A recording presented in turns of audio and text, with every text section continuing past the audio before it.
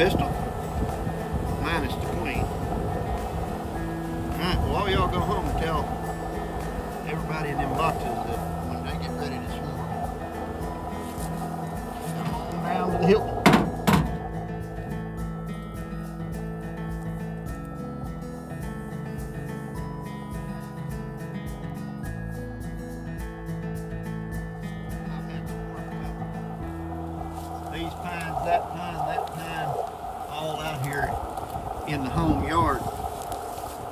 My goal is to just get them to load in this box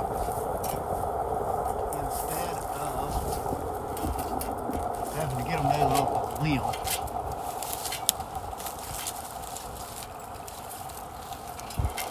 So what we're going to do is we're going to give them the box to move into.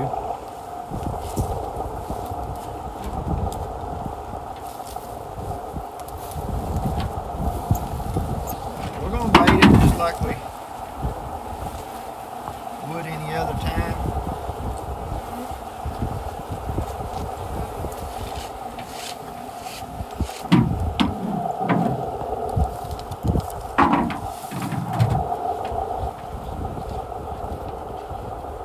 And I, as, as we know that when the bees come out of these boxes, the bigger colonies go first. So by that, you've got one or two of these boxes out of 11 that's going to be built up so strong that they're going to swarm before I get the opportunity to split. The goal for me is that they all can be split on the same day so that I make that time and that arrangement and have my equipment ready and I go and I just split bees. I move the splits from here to another apiary and from that apiary back. Um, you know, you, you set yourself up for success, as they say. The problem is with honeybees, uh, they their timeline's not yours. So what they've got going on in those hives uh, is preparing for a buildup to do two things. Um, they're going to multiply by division. So the old queen typically is going to cause a swarm. She's going to thin down. She's going to leave. She's going to leave everything behind in that colony box for them to raise a new queen and to carry on. We want to capitalize on the fact that she has left and in a swarm event, she's going to do this. It's all going to happen naturally. Um, we're going to give them a place to go. The bees that are already in this box that you saw are in there because that old brood comb serves as an attractant on its own, but there was some pollen stores left in it. It's fresh, it was in the refrigerator, uh, it had not molded, and they are going nuts over it right now. We're in the mid 50s right now, mid to high 50s. We've got a 15 mile an hour northwest wind. It's actually pretty cold out here when you're not standing in the in the sunlight. Uh, a lot of guys that that uh, chase these swarms in the spring and, and trap them, they've already got their boxes out, and, and that's a great that's a great idea because you want these bees that are naturally foraging right now for things. You want these bees to be looking at your swarm traps. Um, they're the same bees that are going to go back to their colonies and relay this information to the to the, the group that uh, not only have we found found a great place to move into, but it's it's uh, it's just almost in the perfect location. There's you know there's there's comb there, um, so there immediately that that queen can get back to work and build up that swarm colony. So take advantage of all the things that the bees do naturally, and when you set your your swarm catch locations, try to try to pick open areas. Try to get know east, southeast, uh, sunlight on them immediately in the mornings. Not too much shade for the traps. Pick out these environments that that you've seen bees in in the past go to. Um, I have not put swarm traps out in this apiary at my home yard before. This is actually a first. You know, and it could be that this swarm trap sets here empty all swarm season and I'm and I'm cutting them out of these limbs right here around these trees. I don't know. We're going to give it a try. So bear with me. Let's get all this set up and uh, we're going to give it a shot because it'll sure be easier if they move into that box for me to take them down than it is to get a box and go up and get them. So continue watching and, and let's try to work this out together.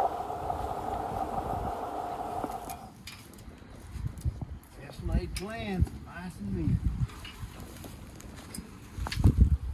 All seems so simple.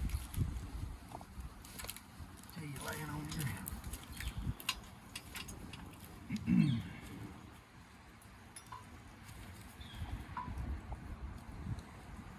all in about.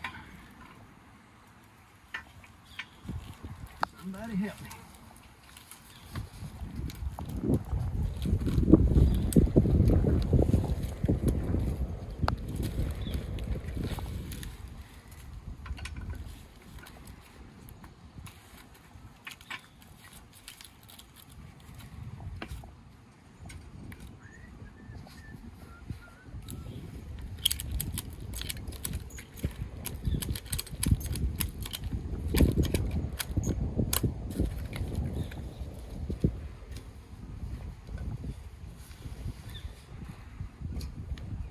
All right, as I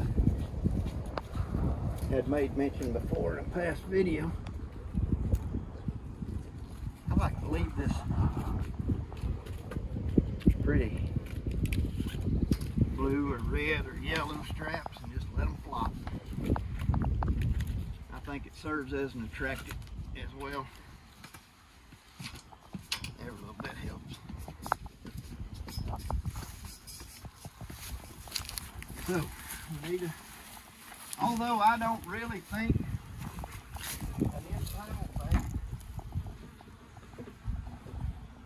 thing is a great necessity, I do believe in the Swarm Commander as a drag. These bees will work this, they'll work this comb till they've got everything out of it that they want. You can already tell in the time that we pulled from the shop to here, they have really been working on this. They're after this, this multicolored pollen.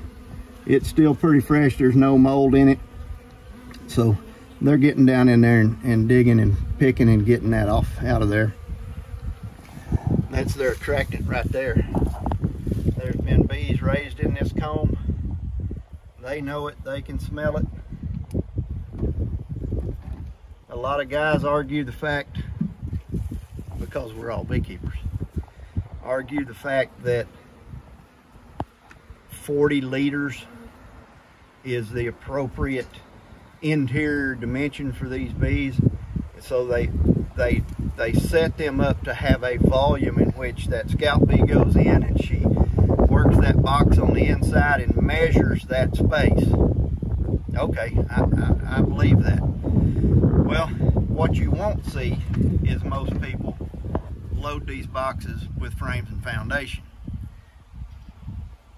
I've caught bunches of swarms doing just this method.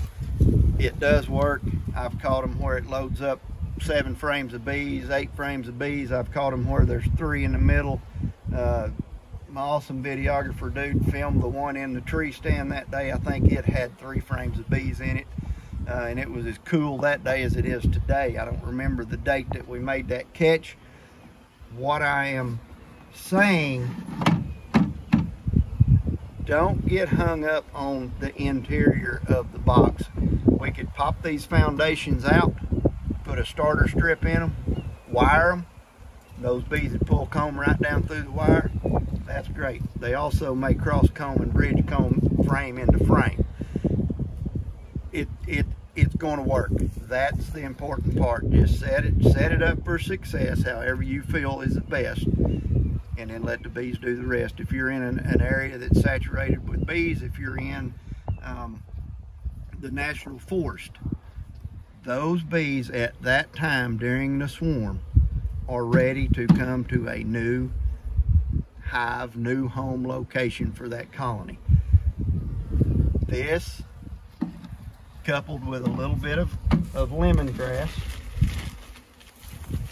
I'm gonna I'm gonna show this again. Standard jeweler's bag is what I call it. It's a little baby Ziploc bag. You open it up. Try not to rupture or tear the bag. It's important. Cotton ball in the bag. Lemongrass essential oil. Okay. It is super, super strong. It does not take much, and I'm not going to use much simply because this box already smells like bees. It's an old hive. It has had bees raised in it. It's generated a colony. It's it's the deal. It's everything about it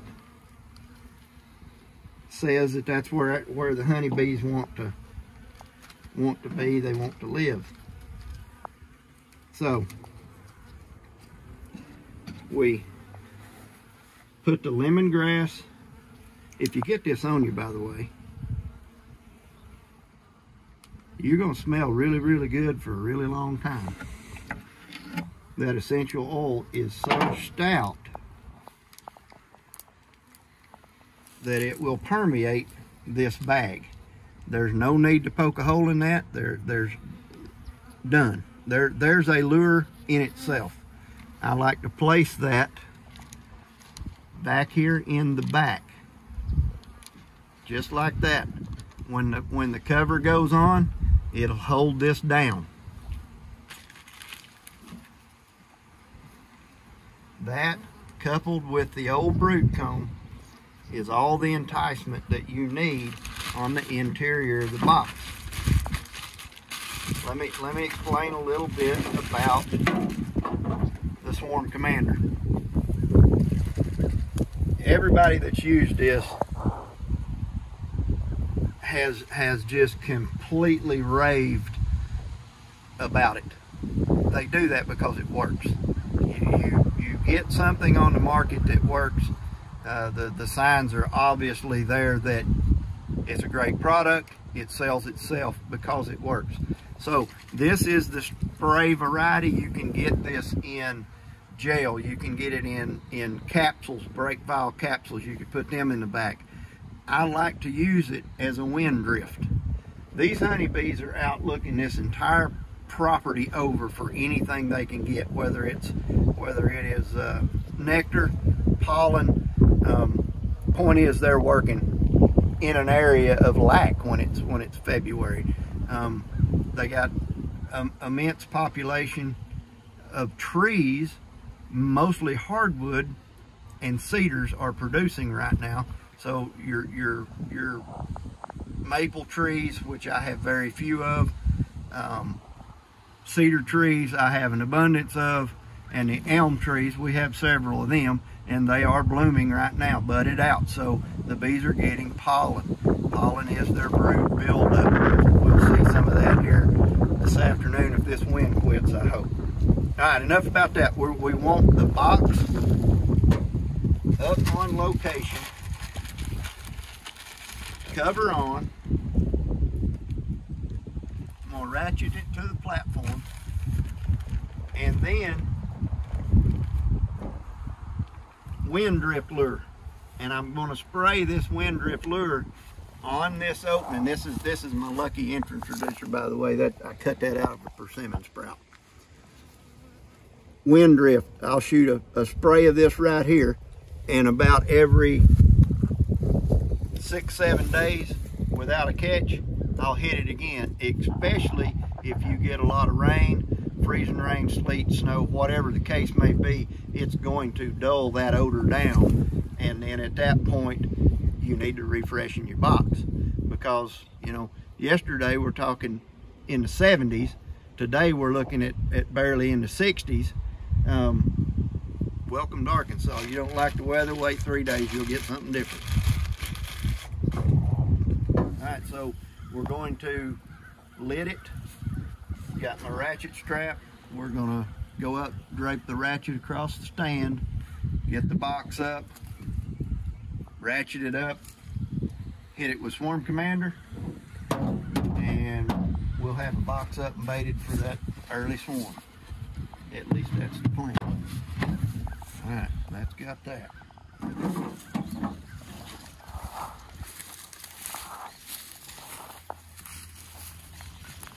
You under a deer stand ladder counts as bad luck? You gotta say bread and butter. bread and butter, bread and butter. now I'm hungry.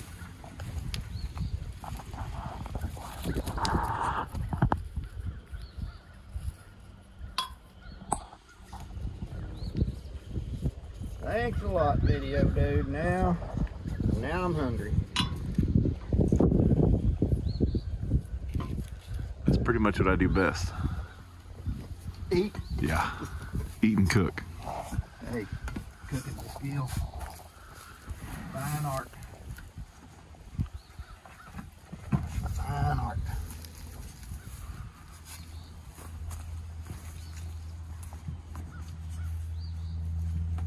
All right, here we go. This is that safety thing. Don't try this at home unless you're perfectly confident in doing it.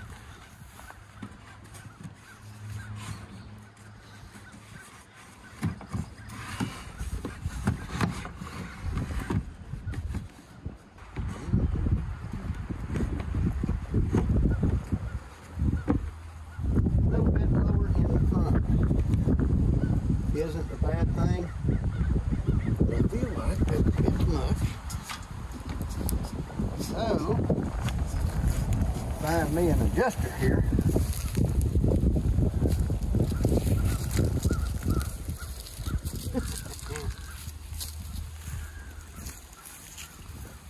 when you clean up your yard after an ice storm, too, look.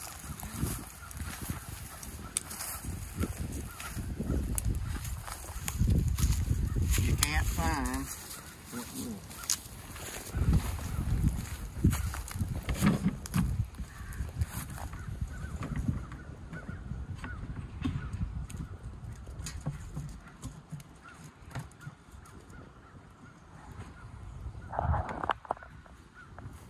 Alright, I like that feather.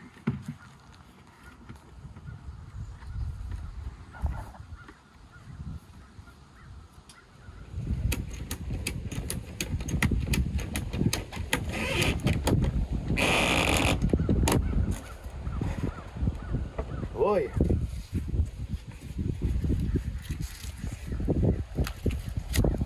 Good enough. Swarm commander.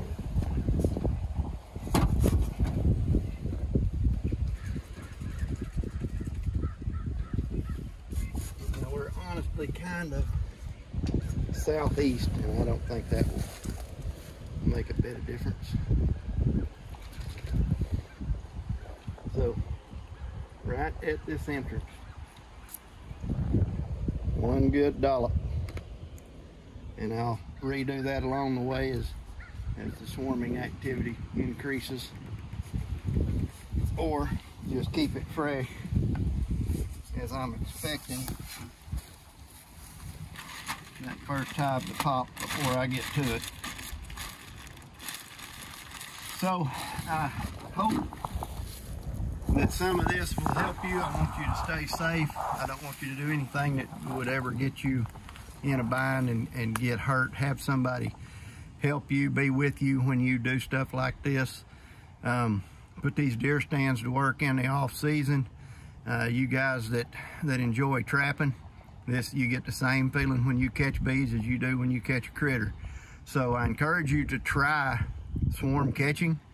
Uh, it's enjoyable it, if you you folks that don't want to or feel like you don't have the knowledge to split bees this is a great way put put some of these up around the perimeter of your colonies. Get back you know get back a minimal 50 60 yards from your colonies. They tend to want to go a ways before they settle. Uh, take that for a, a little bit of tip. I've noticed that.